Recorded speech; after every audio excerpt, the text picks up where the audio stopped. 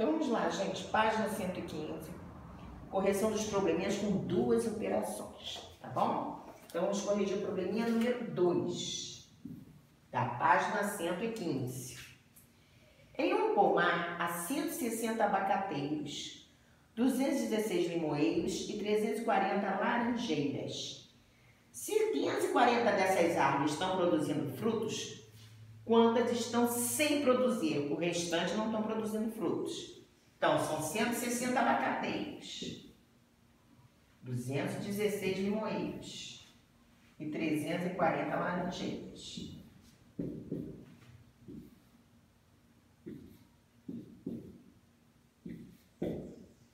Então, esse total aí, ó, estão produzindo frutos. O restante não estão produzindo.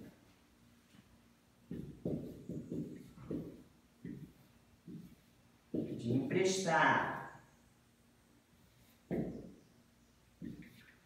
Então, estão sem produzir frutos 176 árvores. Probleminha número 3.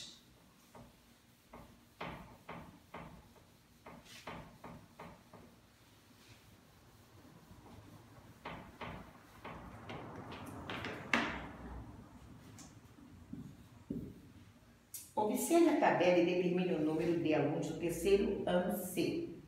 Então, nós temos aí terceiro ano A com 27 alunos, terceiro ano B com 25 alunos, terceiro ano C eu não sei, um total de 81 alunos. Primeiro vou juntar A com B.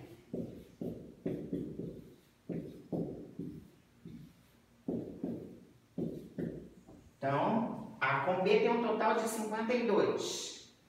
Agora, vou pegar o total, que são 81 alunos, menos esses daqui que eu já sei quantos são. Um eu não posso tirar dois, porque emprestar. Então, no terceiro ano C tem 29 alunos, é o terceiro ano C, com 29 alunos. Apagando e passando pra, para o probleminha número 4.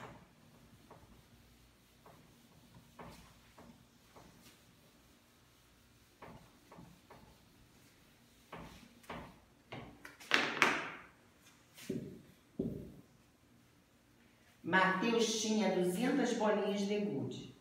Na segunda-feira, ele ganhou, ele tinha 200, ganhou 101. Na terça-feira, ganhou mais 79. E na quarta-feira ele vai perder, tá? 89. Então vamos ver esse total aqui.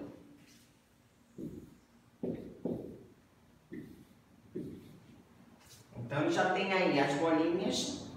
Mas na quarta-feira ele vai perder 89. Dessas 380, ele vai perder 89. Deixa aqui esse meu dedinho. De emprestado que eu não posso tirar, tá? O pedi emprestado 7 eu não posso tirar 8. Mateus ficou com 291 bolinhas. Essa daqui é a letra A. Tia ainda vai fazer a letra B, tá? Deixa eu apagar esse para ir para a letra B do número 4.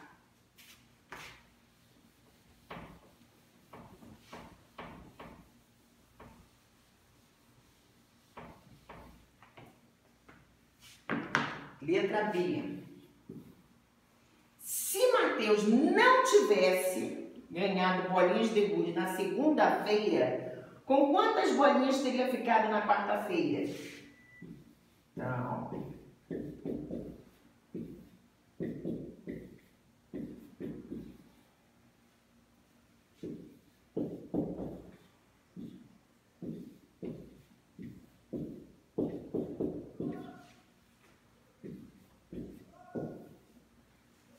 Ele teria ficado com 190 bolinhas.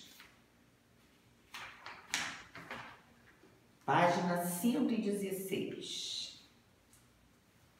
Probleminha número 5.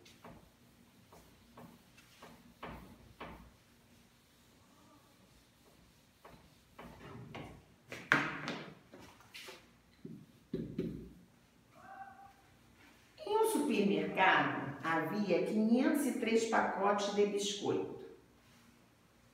No sábado foram vendidos 315 pacotes. E no domingo uma centena. Quanto que é uma centena? 100. Quantos pacotes não foram vendidos?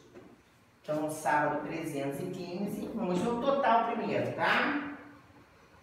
E no domingo uma centena.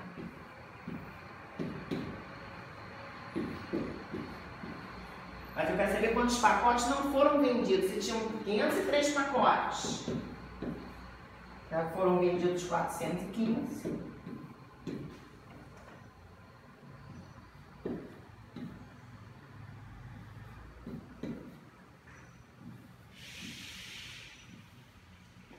Então, ó, não foram vendidos 88 pacotes.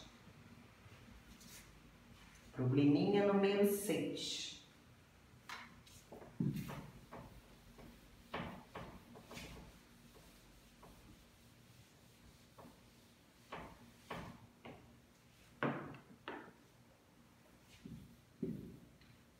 motorista está fazendo um percurso de 600 quilômetros. Após 248 quilômetros, ele fez a primeira parada. Então, o percurso é de 600 quilômetros. Se ele fez uma parada, vamos tirar o que ele já percorreu. Tá? Então, percorreu mais, depois ele vai percorrer mais 180 quilômetros e parar novamente, tá? Mas eu pergunto, quantos quilômetros faltam para ele completar o percurso? Então, nós já sabemos que vamos pedir emprestado quando não se pode diminuir.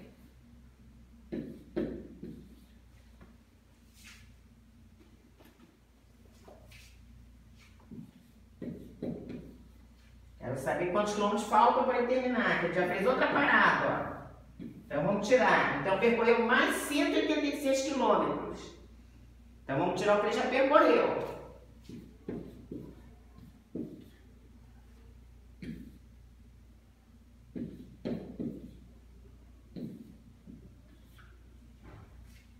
Aí eu pergunto quantos quilômetros faltam para ele completar o percurso.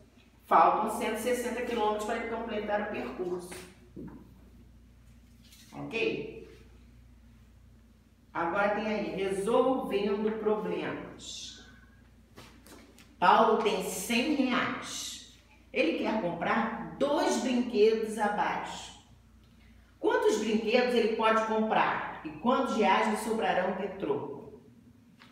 Então, vamos lá. Aqui eu tenho três soluções, tá? Paulo pode comprar o carrinho e o aviãozinho e ficar com um troco de 14 reais. Ou comprar o jogo e o carrinho e ficar com um troco de 38 reais. Ou comprar o jogo e o aviãozinho e não ter troco. Tudo bem?